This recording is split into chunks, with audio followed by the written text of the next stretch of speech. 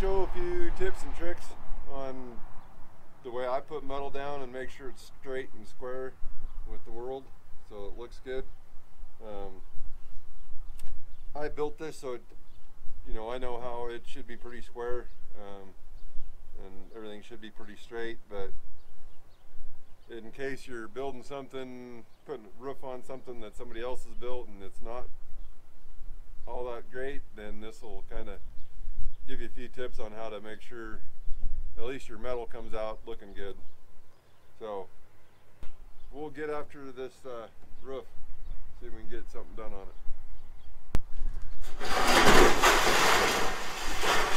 it.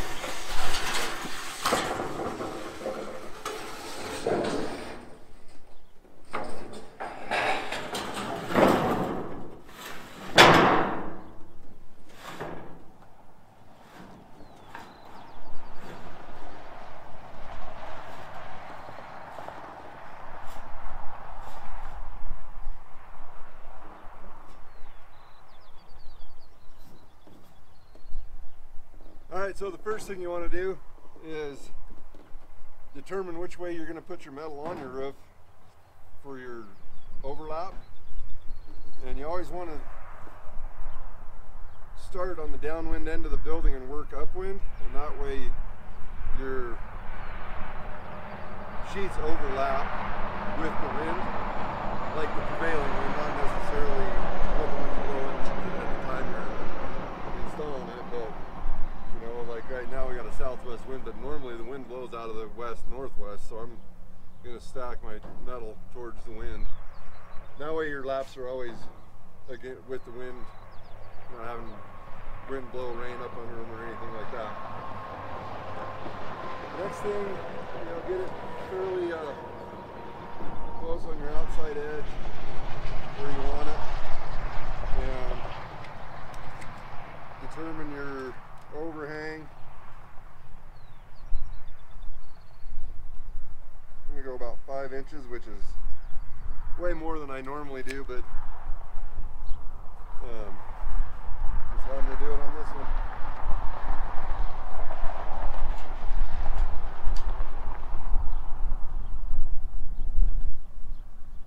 So you want your overhang, measure your overhang on this edge, your starting edge. Don't worry about that one right now. And we'll go put a screw up there. That will be our pivot screw. What I call that, a pivot screw. Um, I'll go get that up there and we'll start getting some metal on.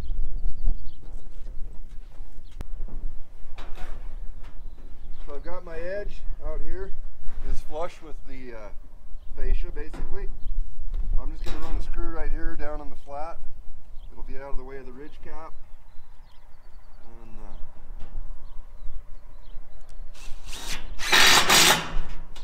that's what I'm going to call our pivot screw, and I'll explain that here in a minute. Then we grab another piece. We'll probably put, probably put three, maybe four pieces on. And depending on how long your sheets are, kind of determines how far out you want to go to make sure you get everything square. But three pieces is a pretty good number.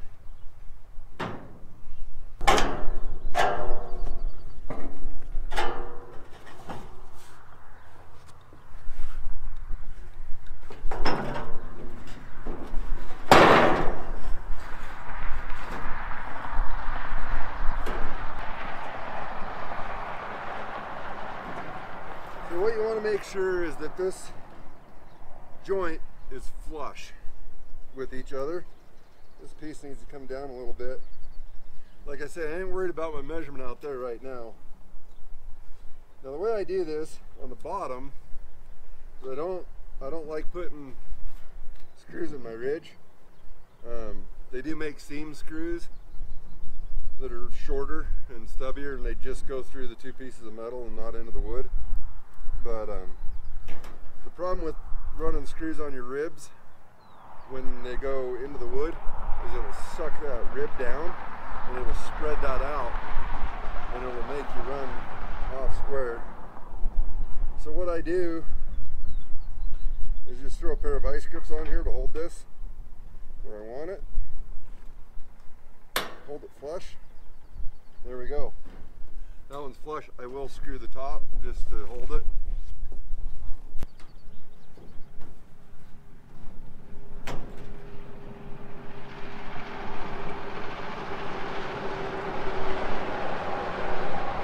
Now, the purpose of me screwing this up is I'm going to take this screw out eventually. And I don't want the screw to go into the wood. All I want it to do is hold this piece straight. I don't want it, you know, too far that way or too far this way. I want that fitting perfectly right there. And this screw is just to hold those two pieces together for now. Okay. Now we'll do another one, same thing.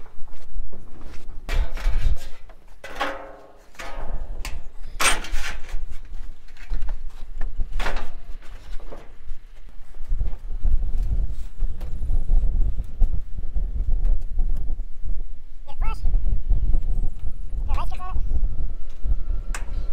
And you don't see it. Huh? Actually, I guess I have got vice grips. I could've just put vice grips up here, but And a lot of times what I'll do, another trick you can do is uh, if you have a, like you're overlaying a, a roof that's been sheeted with plywood and you want all your screws to be in the same spot on the sheet, I would, I've stacked, you know, my, all the metal that'll go on one side of a roof and then drilled all my holes you know, put a square on there, get a square line across, measure out a half an inch from the rib or whatever your pattern might be that you want, and drilled all the holes. And that way, you go up there, you're not fighting getting your screws started, and uh, when you're done, your screw pattern looks really nice. But uh, up here, I'm just going to eyeball it for the most part. Um, you know, I've got these two by purlins up here, and I can just go along and eyeball my screw holes or my screws.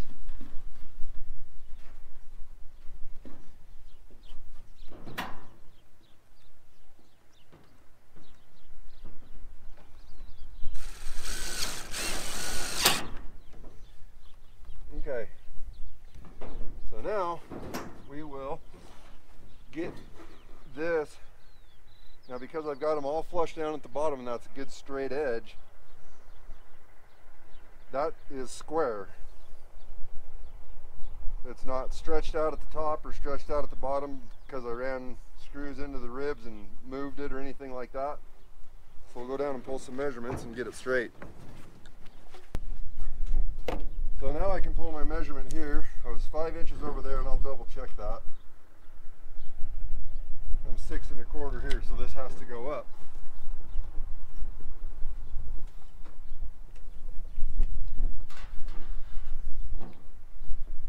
Now moving this isn't going to change this distance right here, but I'm going to move it this way and that will get me squared up. And see I'm pivoting on that screw over there.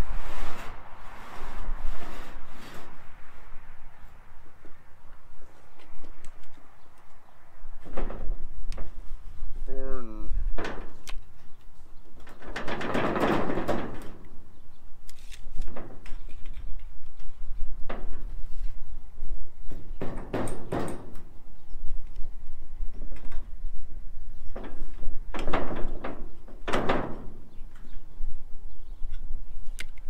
Pretty good right there.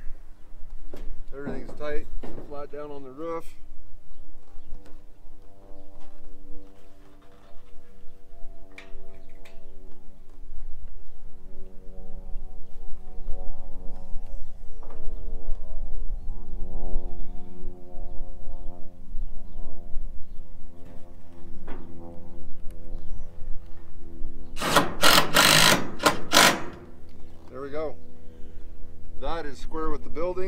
Straight. All the edges are good. And what this does, it keeps it from being a, a saw blade edge out here on this edge, trying to keep everything straight. You know, you'll get that sometimes.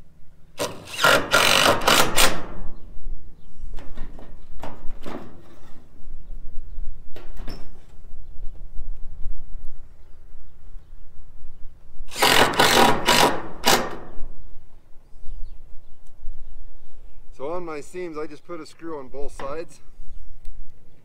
That's how I like to do it.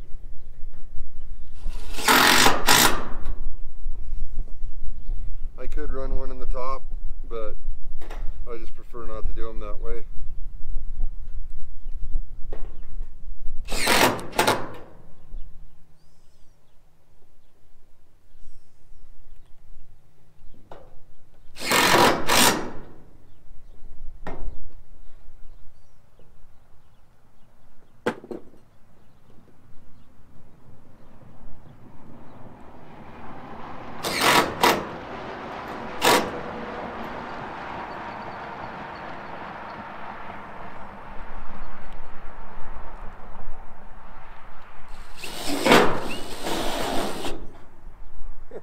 Imagine that, I ran that screw right down on top of a nail.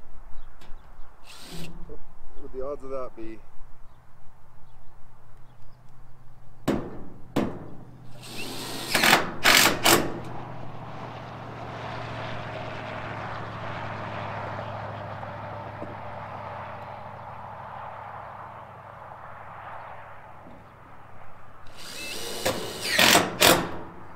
And this is used metal, it's got holes in it. I mean, this isn't, you know, a weatherproof, waterproof building. Just uh, shade for the horses, little shelter, you know, windbreak, whatever, for them. It's not, doesn't have to be perfect.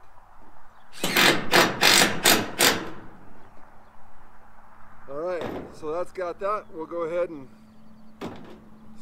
get some more screws in and then throw the rest of the metal on. Maybe do a little time lapse on that.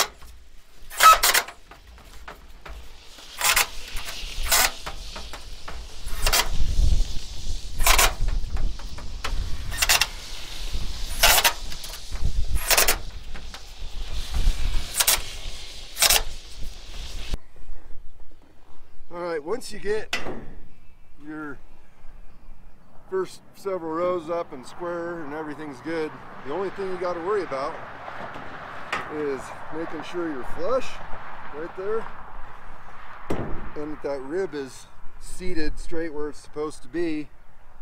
And then that you don't get any humps or you know stretch it out or have it shrunk up or anything in between. Now I I vice grip every piece that I put up just to get the first screw started because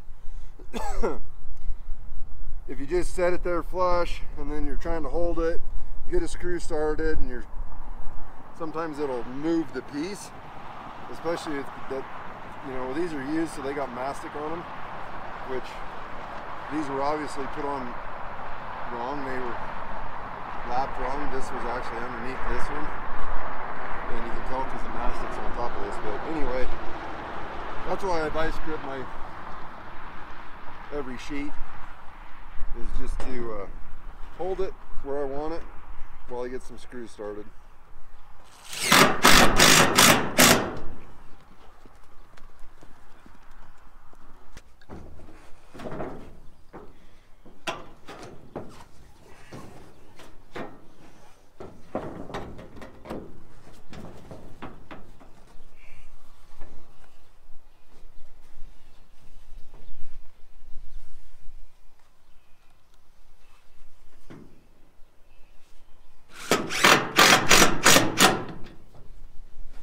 we go.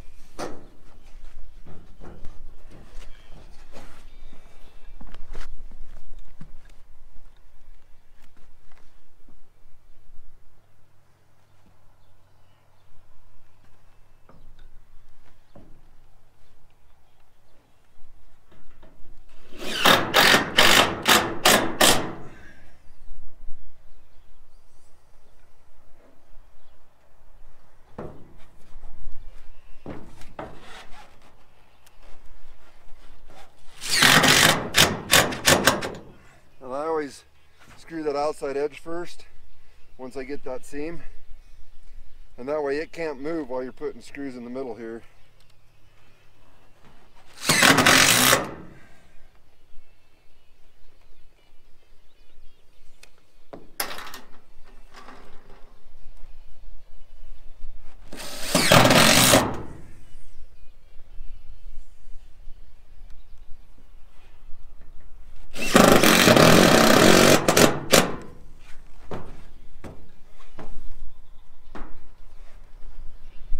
Can't finger these screws with gloves on.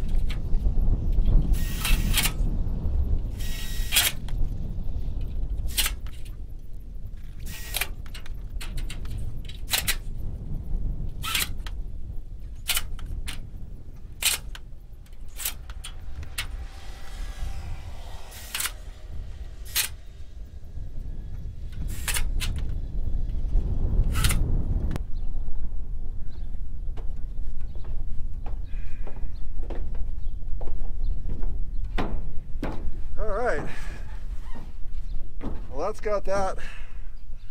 I didn't have any ridge cap, so I just cut a piece out of a one of the pieces of metal, and it wound up being long enough by about I had to cut about nine inches off of it.